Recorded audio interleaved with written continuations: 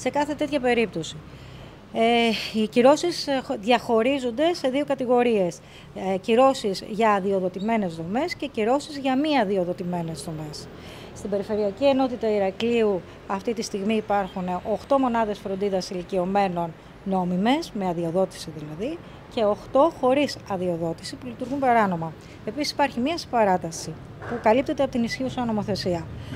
Ε, για τις μη αδειοδοτημένες λοιπόν δομές, αν προκύψει κάποιο θέμα, κάποιο πρόβλημα, όπως αυτό το τραγικό που σήμερα μάθαμε όλοι, ε, εμείς ως υπηρεσία έχουμε ήδη ενεργήσει, ειδικά για τις μη αδειοδοτημένες, ε, και επιβάλλουμε τις σχετικές κυρώσεις που αφού ενημερώσουμε τον ιδιοκτήτη ότι προβαίνουμε σε κυρώσεις ως υπηρεσία για τις παραλήψεις του, ε, πράγμα το οποίο έχει γίνει για, όλα, για όλες τις μονάδες φροντίδας ηλικιωμένου που αυτή τη στιγμή λειτουργούν χωρίς άδεια ε, και κυρίως και αυτό συμβαίνει μετά από έκθεση κοινωνικού συμβούλου που επισκέπτεται τις μονάδες τις συγκεκριμένες.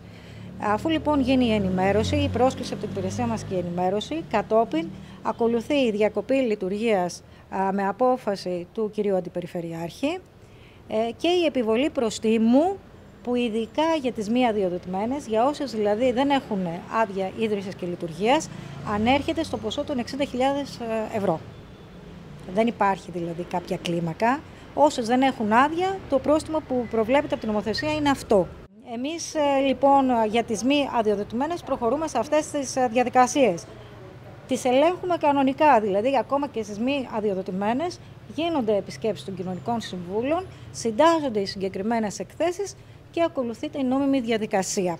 Αυτό που πρέπει να τονιστεί είναι ότι έχουν γίνει όλες οι απαιτούμενες ενέργειες από τη διεύθυνσή μας ε, για τις μη αδειοδοτημένες, δηλαδή και η διακοπή λειτουργίας και η επιβολή προστήμου.